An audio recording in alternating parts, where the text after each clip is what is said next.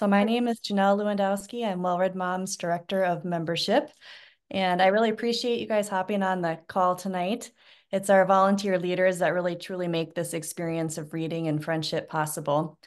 So in um, 2012, my husband and I and our five children moved to this little town in central Minnesota. And my sister in law, Marcy, invited me to a book club she was starting, and she called it Well Read Mom. So I was there at that, that first meeting. So Marcy had been giving a series of talks to local moms group that she was calling Well Read Mom. And what she learned in talking to these moms was that a lot of women want to read, but they can't find the time. And also they don't know where to start when it comes to choosing the books. She found that these women actually aren't unique because in 2021, a Pew Research study reported that over 60 million American adults reported they hadn't read a book in the last year. And I can't imagine it's gotten a lot better since 2021 because things are just changing so quickly. Marcy's idea coincided with a conversation that she was having with her daughter, Beth. So Beth was a, a new mom and she had been going to these mothers groups and she voiced frustration like, Mom, all we do is talk about you know, diapers and baby food. Isn't there a place for women after college where we can talk about the important things in life? So Marcy said, Beth, let's do this together. They'd been talking about this idea. She said, Well, pick the books and then I'll record an audio for you to play to your friends, play for your friends in St. Paul. So it's really easy for you to lead this group. And very quickly, word spread and by halfway through that year, there were over 100 women that had started a group and said, Can you send me the audio or, or joined an existing group? And believe it or not, just over a decade later, there are over a thousand group leaders all over the United States and in six other countries, and almost 8,500 women that are reading together. And this has really largely been by word of mouth. So it's pretty amazing. So for Marcy, the book club wasn't just about reading and friends, although those were both things she wanted more prominent in her life. This idea of well read mom was a way to take care of her heart. So I'm going to show a, a short three minute video that's located on our website if you wanted to share it with friends in the future. But Marcy will explain in her own words how she came to this idea of taking care of her heart through literature. Our conception of motherhood is that we just serve our children constantly. But caring about my own heart is also part of motherhood. I was running to my son's cross country meet, and I remember thinking that day, you know, who takes care of me? I'm exhausted.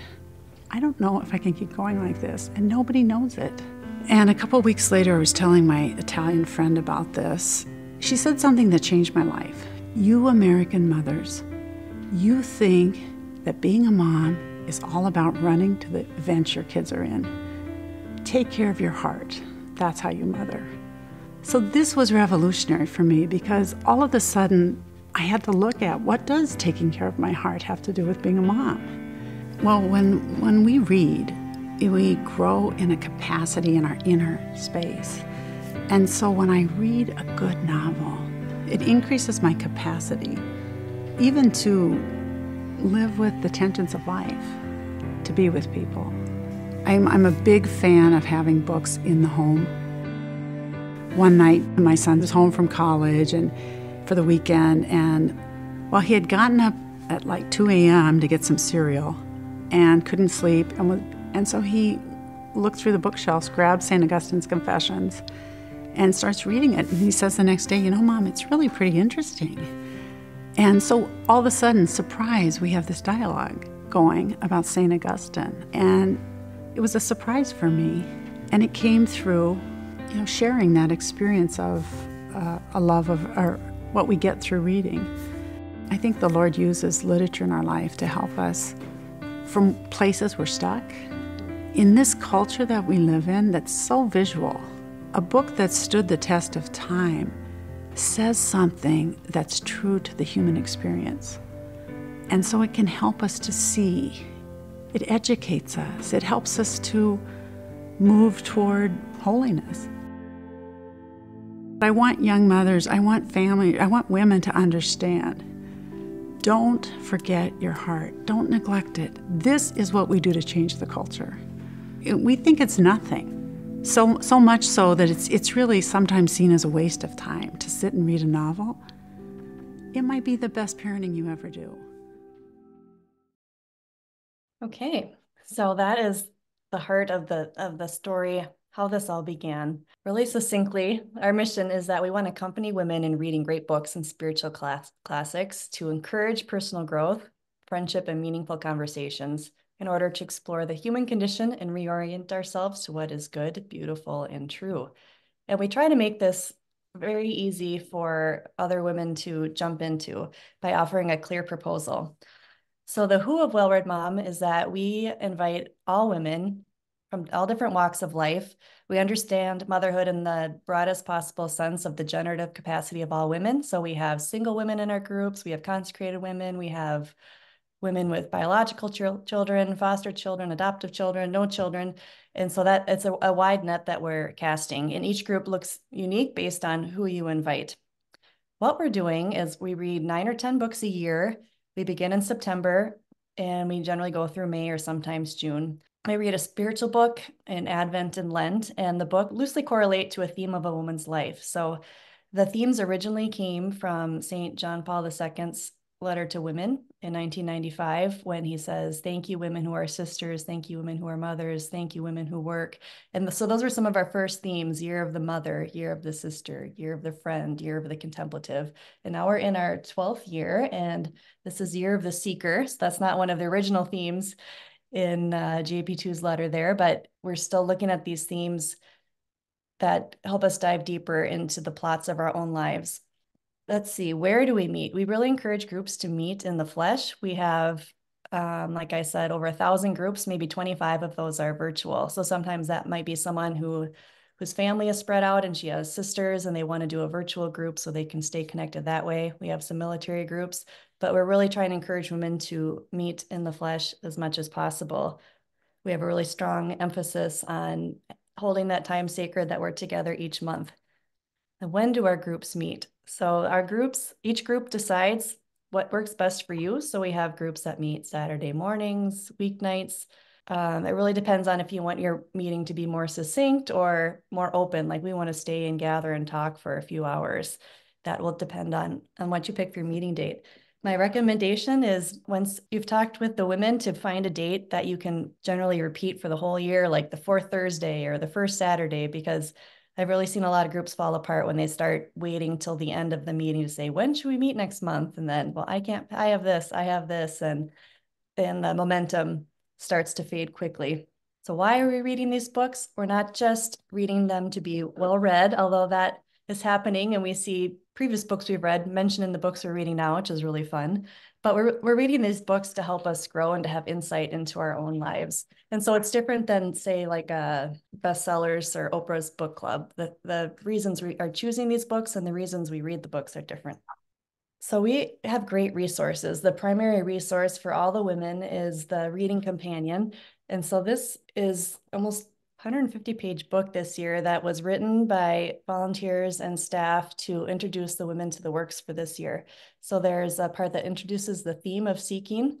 And then for each book, there's a biography of the author. There's a section called A Closer Look, which is what you might keep an eye out for as you're reading, a reflection written by one of our Well-Read Mom members, and then discussion questions. So you're welcome to use your own questions, but a lot of women sometimes start with these and then see where the conversation goes. And so we try to make it really easy for you just to pick up and start the group without having to do a lot of research on your own about the author or the time in history. We try to package that all together for you very succinctly. And then uh, also really key to the Well-Read Mom experience are the monthly audios. So we have two audios each month on our website that are available to all the members. So you play one at the beginning of your meeting that kicks off your discussion for that night, and the second audio at the end of the meeting to introduce the upcoming book. If someone misses the meeting, they also have access to all these online, which is kind of nice too. If you're traveling and you miss the meeting, you can still stay in tune with your group because you have access to the audios and to this reading companion as well. We do quite a fair number of bonus podcasts and videos to help with some of the harder books that we've attempted. When you remember, and you log on and you see the book list, you can also see all the previous themes and all the previous book lists too. So sometimes people like to see what did you read in the past and maybe pick out a couple of those to try out. Each summer, we publish a summer magazine, which is a compilation of reflections from our members all across the country, which is I really enjoy because we have our local groups, but to get to hear what's happening in other groups and see photos of their groups and learn more about how they felt they grew as women that year is really awesome to do together. Um, in the back of this reading companion, we have a family supplement, which was basically an answer to the question that women were posing. Do you have books you can recommend that I read with my children? And so for each month of the year, there's a selection for younger kids and older kids, along with some discussion questions. It's a lot more brief than the rest of the resources because we want to focus on the women and the women reading.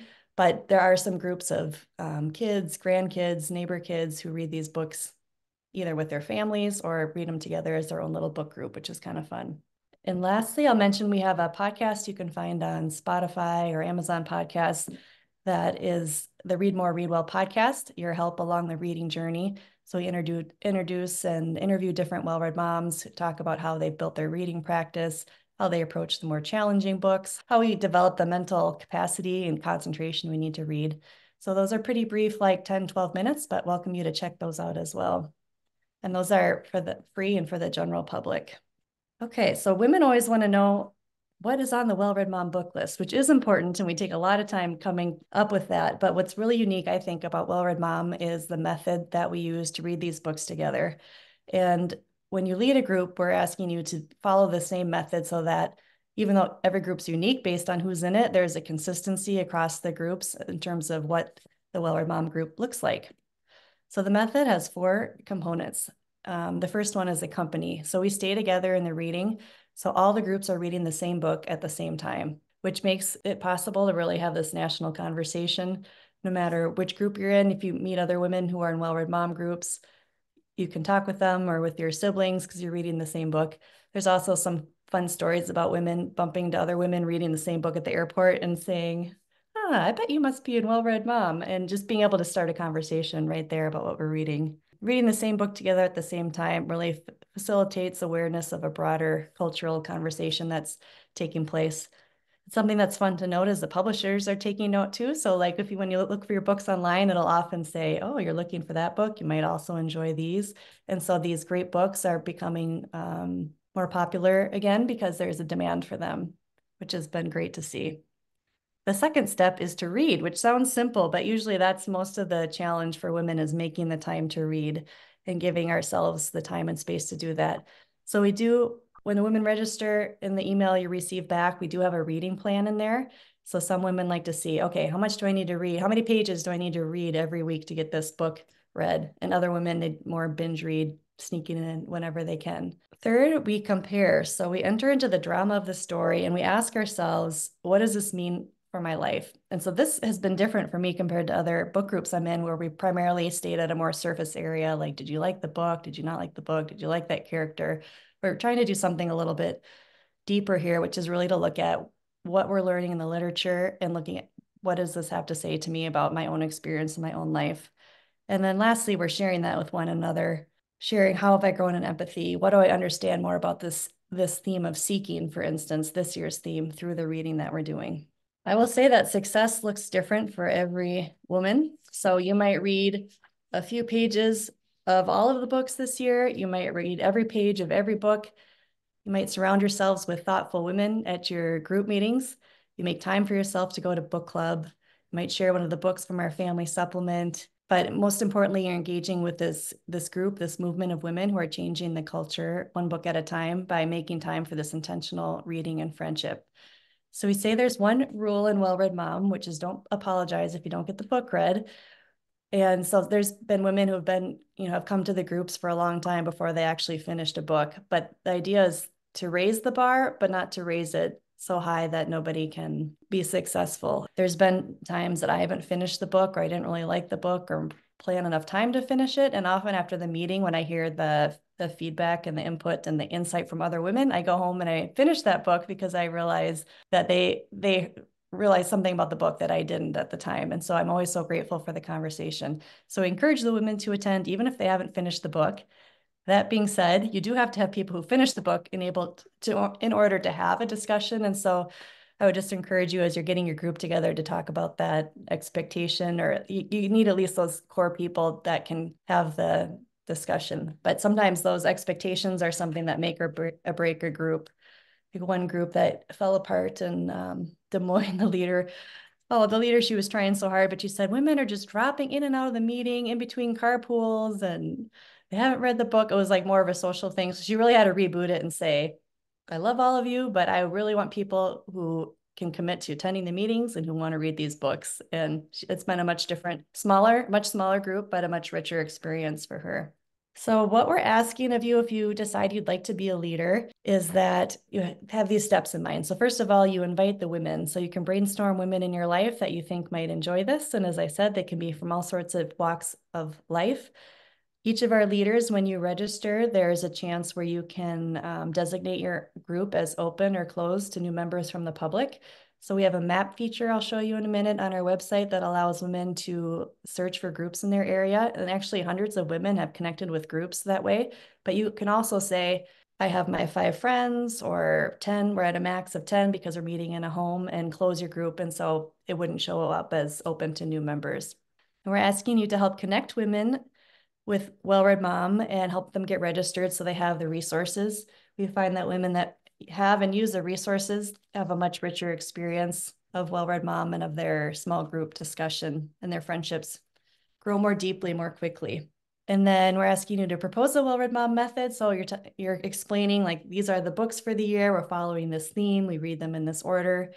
And just kind of laying that out there because sometimes I mean, most people are used to let's just choose whatever books we want. And but we're asking you if you're doing a well-read mom group to do it in this more particular way. So you'll have a, I mean, your group will be unique based on who you are and how you, when and how you choose to meet and who's in that group. But we want the groups to have some consistency across the nation. Like if people say they're doing Read Mom, that it has these elements of using the reading companion, doing the audios. Then we'd like you to follow that method of accompany, read, share, compare. And that's where we find the relationships really grow, grow most quickly is by being able to use this literature to look at our own lives and share that with one another. And lastly, to foster friendship. So to facilitate the group in a way that encourages respectful and thoughtful dialogue. Sometimes groups get heated about certain characters or certain books, but um, one thing I've loved to hear is just how the women have appreciated hearing other perspectives and being able to have some converse, like really meaningful, in-depth conversations about important topics.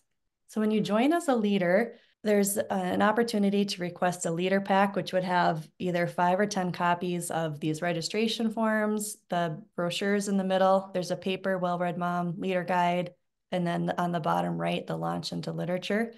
And so we can send those out to you. They're also all available on our website under Join Us Leader Resources. You can find digital copies of these, so you could download them and share them with friends or just print them out for yourself. So the basic membership cost is $49.95. So it's about a little over $4 a month. And we send you your resources right away. We also have other membership levels that include all of the books for the year. So if you're a person where you think, I don't want to month by month be finding these books, which it's your choice how and where you find those. So you could ask your library to order a set. You can buy them used. You can buy them on Amazon or um, our bookshop page. We have links on our book list page that will take you to the books. Sometimes, like for some of the Russian authors, you might recommend a particular edition or translation. So sometimes it's helpful to go to that page and just make sure, okay, this we've picked one that we think is going to be most enjoyable for the members to read. Okay, so going back to those other membership levels, that's the basic membership is $49.95. The next one is 250, which includes all the books for the year and a donation to Well Read Mom, which really helps support our work. So we're a small nonprofit. There's six of us moms that work part-time and raising families. Some are doing other jobs. We have a 600 square foot office here in our small town and tens of thousands of books. So we're praying and working for a new space, but all the membership dollars really help support the work that we do. I'll also mention too in our Well Read Mom store that you can find the link on our website. There are some free samples. So if you wanted to try out a short story or um, even a, a full length book. You can find some samples there to try with your friends, and the audio is included as well as the discussion questions. So we welcome you to, to give it a try. I'm going to show you here. I'm going to join today and then leader resources. So this is a great page for you to check out. So I'll talk about the steps to get started as a leader and then the leader responsibilities that I went over with you and the what the one rule. And then on the bottom here, you'll you'll find all the, the downloads that you can access right away. And then here's a link, host an informational meeting. And so if you're thinking of, oh, I want to tell my friends about this, but I don't really know how to get started, we've prepared for you this informational meeting that's about 45 minutes. And there's some audios you can play, the video I shared with you, a slideshow, some some questions you can ask your friends, like about what what do they think about this idea of reading as an intentional interruption? Do you think this would work? And so it just kind of gives you a sense to or a time to get together get women together to talk about it before you launch. You could do this informational meeting and then also use one of the um, resources in the store. So here's the samples I mentioned, like this, the birthmark and the, necklace are both really short stories you could use and even um, like the necklace read together that night or send people this link, they could print it off and read it and come to the meeting. And so you could, you could try a little bit of that discussion. I want to show you one other thing here. If you go to find your community, this is the map feature where women can search for groups. And so if you're either looking for women in your area or looking to maybe contact a local existing leader and say, hey, would you mind if I stop by your group to kind of see how this works? I'm thinking of starting a group. Or sometimes people, just as they're getting going, they want to know what are the other groups in the area. So you can put in your city, and then you'll see that the group status will tell you some people read on their own. So we have those virtual groups or people who read on their own. Here's a leader and her group's full. Here's a, a leader and she's open to new members. So if you lived in Denver, you could click on Anna Hill and send her a message. And so you don't see, nobody sees the email or the exact address. And as a leader, you have the option to turn on or off your privacy settings if you want to be included in that. But it has, it's been pretty cool for people that have moved to a new area who had an existing Well-Read Mom group that they moved away from and been able to plug into a new group. So that's been a feature we're excited about, and you might find it of use to you as you get started. Even if you say, oh, well, here's people on their own, I'm starting a group, I could, I'm trying to get women together, I could invite them, let them know I'm starting a group in their area. But that's totally at your discretion if that would be something you're interested in feel free to reach out anytime if you're getting as you're getting started or how would this work or this is what I'm thinking. What do you think? happy to help.